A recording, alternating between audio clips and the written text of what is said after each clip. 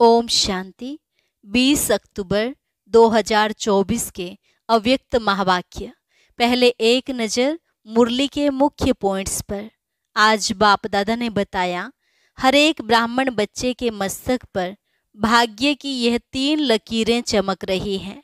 एक लकीर है प्रभु पालना की, दूसरी लकीर है श्रेष्ठ पढ़ाई की, और तीसरी है श्रेष्ठ मत की लकीर। यह परमात्म पालना का भाग्य, सिवाय आप ब्राह्मण बच्चों के और किसी को प्राप्त नहीं होता। इस पालना से ही तुम पूजनीय बनते हो।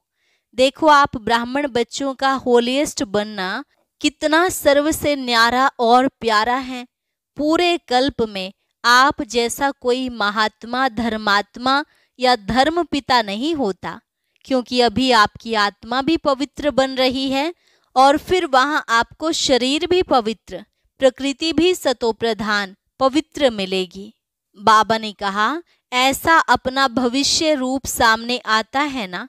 ऐसा तो नहीं सोचते कि पता नहीं बनेंगे या नहीं बनेंगे। कोई शक तो नहीं है ना? जब राजयोगी बने हो तो राज्य अधिकारी भी बनेंगे ही बनेंगे। इसलिए बार बार अपने स्वीट राज्य की और स्वीट होम की स्मृति स्पष्ट आनी चाहिए।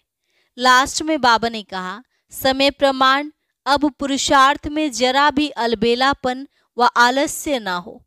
यह कभी नहीं कहना चाहिए कि हो जाएगा, कर लेंगे।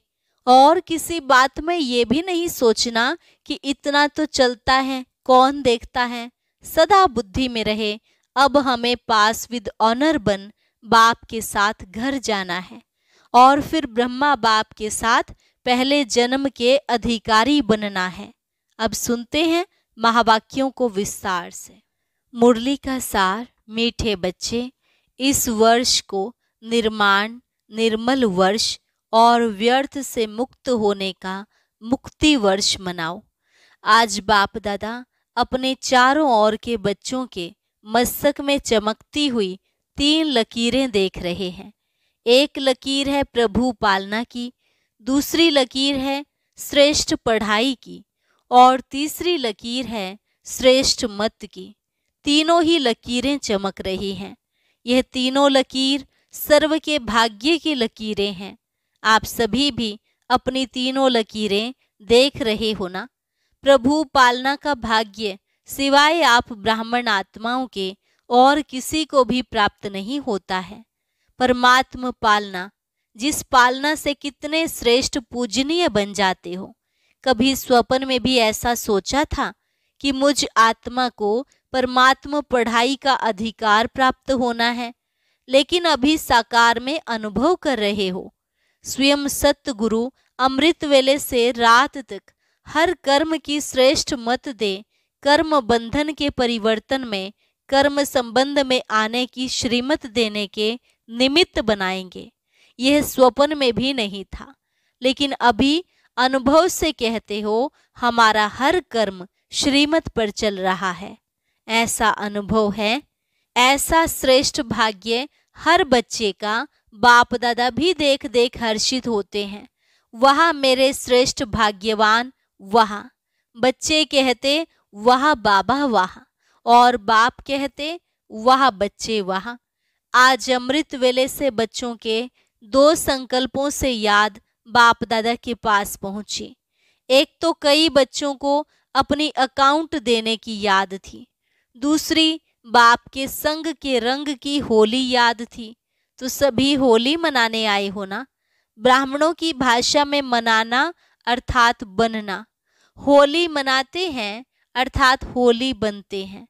बाप दादा देख रहे थे ब्राह्मण बच्चों का होलिएस्ट बनना कितना सर्व से न्यारा और प्यारा है। वैसे द्वापर के आदि की महान आत्माएँ और समय प्रति समय आए हुए धर्म पिताएँ भी पवित्र होली बने हैं, लेकिन आपकी पवित्रता सबसे श्रेष्ठ भी है, न्यारी भी है। कोई भी सारे कल्प में, चाहे महात्मा है, चाहे धर्म आत्मा है, धर्म पिता है लेकिन आपकी आत्मा भी पवित्र, शरीर भी पवित्र, प्रकृति भी सतो प्रधान पवित्र। ऐसा होलिएस्ट कोई न बना है, न बन सकता है। अपना भविष्य स्वरूप सामने लाओ। सबके सामने अपना भविष्य रूप आया। या पता ही नहीं कि बनूँगा या नहीं बनूँगा, क्या बनूँगा। कुछ भी बनेंगे, लेकिन होंगे तो पवित्र ना। शरीर भी पवित्र आत्मा भी पवित्र और प्रकृति भी पवित्र पावन सुखदाई निश्चय की कलम से अपना भविष्य चित्र सामने ला सकते हैं। निश्चय है ना? टीचर्स को निश्चय है? अच्छा एक सेकंड में अपना भविष्य चित्र सामने ला सकते हो? चलो कृष्ण नहीं बनेंगे, लेकिन साथी तो बनेंगे ना। कितना प्यारा लगता है। आर्टिस्ट बनना आता है या नहीं आता है? बस सामने देखो। अभी साधारण हूँ, कल ड्रामा का कल, यह कल नहीं जो कल आएगा। अभी साधारण हूँ, कल यह पवित्र शरीरधारी बनना ही है। पांडव क्या समझते हो? पक्का है ना? शक तो नहीं है? पता नहीं बनेंगे या नहीं बनेंगे। शक है? नहीं है ना? पक्का है। जब राजयोगी हैं तो राज्य अधिकारी बनना ही है। बाप दादा कई बार याद दिलाते हैं कि बाप आपके लिए सौगात लाए हैं। तो सौगात क्या लाए हैं? सुनहरी दुनिया सतो प्रधान दुनिया की सौगात लाए हैं। तो निश्चय है, निश्चय की निशानी है रूहानी नशा। जितना अपने राज्य के समीप आ रहे हो, घर के भी समीप आ रहे हो और अपने राज्य के भी समीप आ रहे हो तो बार बार अपने स्वीट होम और अपने स्वीट राज्य की स्मृति स्पष्ट आनी ही चाहिए। यह समीप आने की निशानी है। अपना घर, अपना राज्य ऐसे ही स्पष्ट स्मृति में आए। तीसरे नेत्र द्वारा स्पष्ट दिखाई दे। अनुभव हो, आज यह है कल यह। है कितने बार पाठ पूरा कर अपने घर और अपने राज्य में गए हो, याद आता है ना? और अब फिर से जाना है। बाप दादा ने सभी की वर्तमान समय की रिज़ल्ट देखी। चाहे डबल फॉरेनर्स, चाहे भारतवासी, सभी बच्चों की रिज़ल्ट में देखा कि वर्तमान समय अलबेलेपन के बहुत नए नए प्रकार बच्चों में हैं। अनेक प्रकार का अलबेलापन है। मन ही मन में सोच लेते हैं, सब चलता है। आजकल का सब बातों में यह विशेष स्लोगन है सब चलता है। यह अलबेलापन है। साथ में थोड़ा थोड़ा भिन्न भिन्न प्रकार का पुरुषार्थ व स्व परिवर्तन में अलबेलेपन के साथ कुछ परसेंट में आलस्य भी है। हो जाएगा, कर ही लेंगे। बाप दादा ने नए नए प्रकार की अलबेलेपन की बातें देखी हैं। इसलिए अपना सच्चा, सच्ची दिल से अलबेले रूप से नहीं, अकाउंट ज़रूर रखो। तो बाप दादा आज रिज़ल्ट सुना रहे हैं। सुनाए ना कि नहीं, सिर्फ़ प्यार करें, यह भी प्यार है। हर एक से बाप दादा का इतना प्यार है कि सभी बच्चे ब्रह्मा बाप के साथ साथ अपने घर में चले पीछे पीछे नहीं आवे, साथी बन के चले। तो समान तो बनना पड़े ना, बिना समानता के साथी बन के नहीं चल सकेंगे। और फिर अपने राज्य का पहला जन्म पहला जन्म तो पहला ही होगा ना। अगर दूसरे तीसरे जन्म में आ भी गए अच्छा राजा भी बन गए, लेकिन कहेंगे तो दूसरा तीसरा ना। साथ चलें और ब्रह्मा बाप के साथ पहले जन्म के अधिकारी बने। यह है number one pass with honour वाले। तो पास विद ऑनर बनना है या पास मार्क्स वाले भी ठीक हैं? कभी भी यह नहीं सोचना कि जो हम कर रहे हैं, जो हो रहा है, वह बाप दादा नहीं देखते हैं। इसमें कभी अलबेले नहीं होना। अगर कोई भी बच्चा अपने दिल का चार्ट पूछे तो बाप दादा बता सकते हैं। लेकिन अभी बताना नहीं है। बाप दादा हर एक महारथी घोड़े सवार सबका चार्ट देख रहे हैं। कई बार तो बाप दादा को बहुत तरस पड़ता है। हैं कौन? और करते क्या हैं? लेकिन जैसे ब्रह्मा बाप कहते थे ना, याद है क्या कहते थे? गुड़ जाने, गुड़ की गोत्री जाने, शिव बाबा जाने और ब्रह्मा बाबा जाने, क्योंकि बाप दादा को तरस बहुत पड़ता है। लेकिन ऐसे बच्चे बाप दादा के रहम के संकल्प को टच नहीं कर सकते कैच नहीं कर सकते। इसलिए बाप दादा ने कहा भिन्न भिन्न प्रकार का रॉयल अलबेलापन बाप देखते रहते हैं। आज बाप दादा कह ही देते हैं कि तरस बहुत पड़ता है। कई बच्चे ऐसे समझते हैं कि सत्युग में तो पता ही नहीं पड़ेगा कौन क्या था। अभी तो मौज मना लो। अभी जो कुछ करना है कर लो। कोई रोकने वाला नहीं, कोई देखने वाला नहीं। लेकिन यह गलत है। सिर्फ़ बाप दादा नाम नहीं सुनाते। नाम सुनाए तो कल ठीक हो जाए। तो समझा क्या करना है? पांडव समझा कि नहीं समझा? चल जाएगा। चलेगा नहीं, क्योंकि बाप दादा के पास हर एक की हर दिन की रिपोर्ट आती है। बाप दादा आपस में भी रूह रिहान करते हैं। तो बाप दादा सभी बच्चों को फिर से इशारा दे रहे हैं कि समय सब प्रकार से अति में जा रहा है। माया भी अपना अति का पार्ट बजा रही है प्रकृति भी अपना अति का पार्ट बजा रही है। ऐसे समय पर ब्राह्मण बच्चों का अपने तरफ़ अटेंशन भी अति, अर्थात मन वचन कर्म में अति में चाहिए। साधारण पुरुषार्थ नहीं। वैसे बाप दादा ने देखा है कि सेवा से लगन अच्छी है। सेवा के लिए एवर रेडी है। चांस मिले तो प्यार से सेवा के लिए एवर रेडी हैं। लेकिन अभी सेवा में एडिशन करो। वाणी के साथ साथ मनसा, अपनी आत्मा को विशेष कोई न कोई प्राप्ति के स्वरूप में स्थित कर वाणी से सेवा करो। मानो भाषण कर रहे हो तो वाणी से तो भाषण अच्छा करते ही हो, लेकिन उस समय अपने आत्मिक स्थिति में विशेष चाहे शक्ति की, चाहे शांति की, चाहे परमात्मा प्यार की कोई न कोई विशेष अनुभूति की स्थिति में स्थित कर मनसा द्वारा आत्मिक स्थिति का प्रभाव वायुमंडल में फैलाओ और वाणी से साथ साथ संदेश दो। वाणी द्वारा संदेश दो, मनसा आत्मिक स्थिति द्वारा अनुभूति कराओ।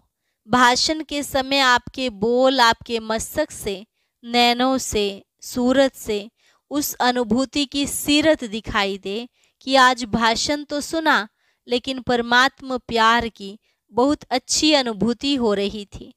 जैसे भाषण की रिज़ल्ट में कहते हैं, बहुत अच्छा बोला, बहुत अच्छा बहुत अच्छी बातें सुनाई, ऐसे ही आपके आत्म स्वरूप की अनुभूति का भी वर्णन करें। मनुष्य आत्माओं को वाइब्रेशन पहुँचे, वायुमंडल बने। जब साइंस के साधन ठंडा वातावरण कर सकते हैं सबको महसूस होता है। बहुत ठंडाई अच्छी आ रही है। गर्म वायुमंडल अनुभव करा सकते हैं। साइंस सर्दी में गर्मी का अनुभव करा सकती है। गर्मी में सर्दी का अनुभव करा सकती है। तो आपकी साइंस क्या प्रेम स्वरूप, सुख स्वरूप, शांत स्वरूप वायुमंडल अनुभव नहीं करा सकती? यह रिसर्च करो। सिर्फ़ अच्छा अच्छा किया, लेकिन अच्छे बन जाएँ। तब समाप्ति के समय को समाप्त कर अपना राज्य लाएँगे। क्यों आपको अपना राज्य याद नहीं आता? संगम युग श्रेष्ठ है, वह ठीक है, हीरे तुल्य है। लेकिन हे रहम दिल, विश्व कल्याणी बच्चे, अपने दुखी अशांत भाई बहनों पर रहम नहीं आता, उमंग नहीं आता। दुखमय संसार को सुखमय बना दे, यह उमंग नहीं आता। दुख देखना चाहते, दूसरों का दुख देखकर भी रहम नहीं आता। आपके भाई हैं, आपकी बहनें हैं तो दुख देखना अच्छा लगता है। अपना दयालु, कृपालु स्वरूप इमर्ज करो। सिर्फ़ सेवा में नहीं लग जाओ। यह प्रोग्राम किया, यह प्रोग्राम किया, चलो वर्ष पूरा हुआ, अभी मर्सीफुल बनो। चाहे दृष्टि से, चाहे अनुभूति से चाहे आत्मिक स्थिति के प्रभाव से मर्सीफुल बनो रहम दिल बनो। अच्छा बाप दादा ने एक बात और भी देखी है। सुनाना अच्छा नहीं लगता कभी कभी कोई कोई बच्चे अच्छे अच्छे भी दूसरों की बातों में बहुत पढ़ते हैं। दूसरों की बातें देखना, दूसरों की बातें वर्णन करना और देखते भी व्यर्थ बातें हैं। विशेषता एक दो की वर्णन करना वह कम है। हरेक की विशेषता देखना, विशेषता वर्णन करना, उनकी विशेषता द्वारा उनको उमंग उत्साह दिलाना, यह कम है। लेकिन व्यर्थ बातें, जिन बातों को बाप दादा कहते हैं, छोड़ दो। अपनी तो छोड़ने की कोशिश करते, लेकिन दूसरे की देखने की भी आदत है। उसमें टाइम बहुत जाता है। बाप दादा एक विशेष श्रीमत दे रहे हैं।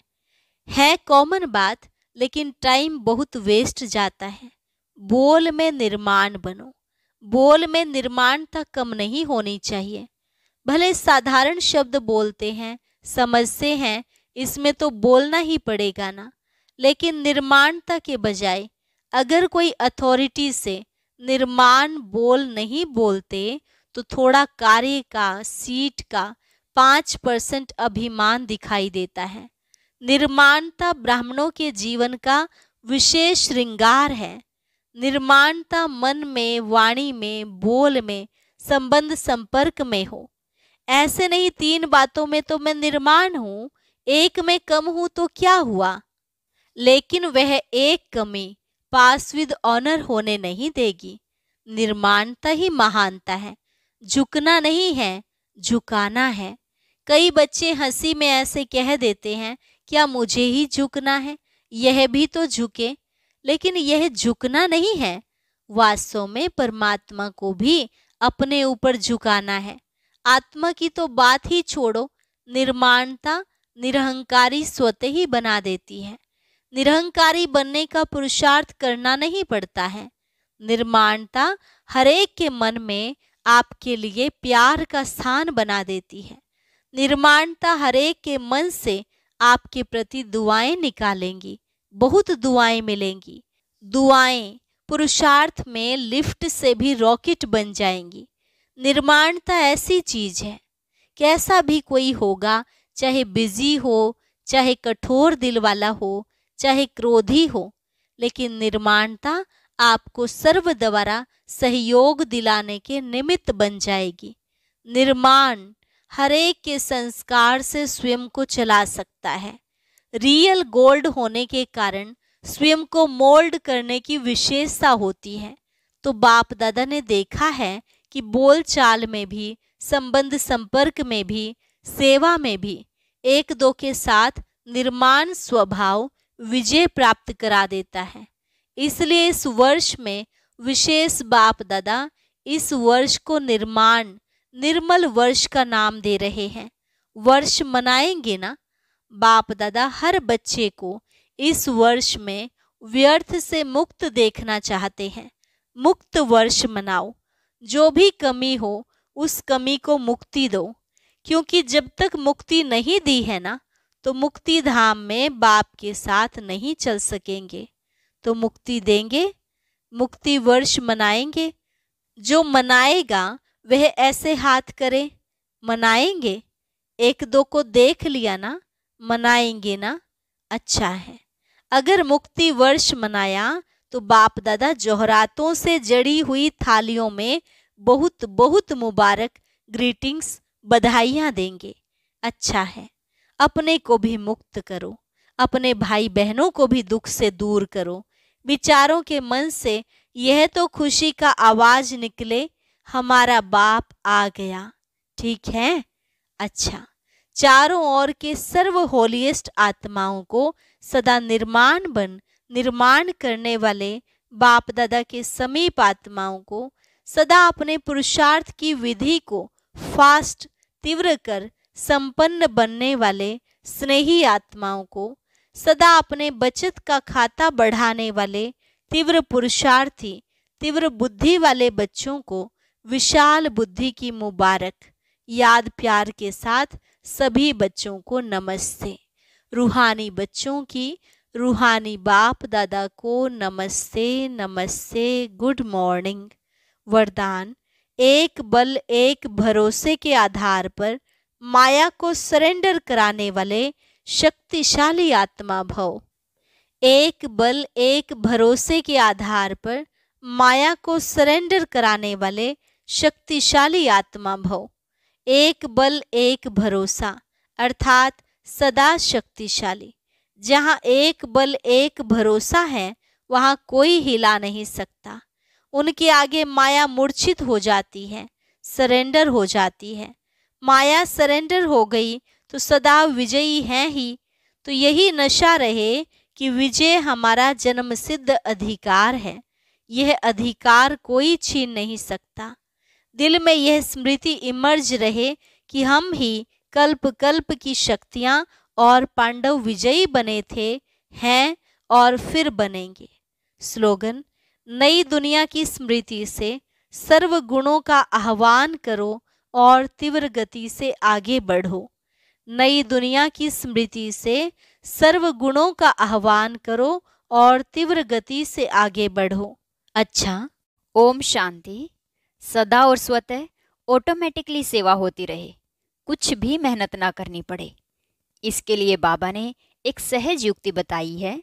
आइए वो सुनते हैं आज के अव्यक्त ज्ञान मोती में।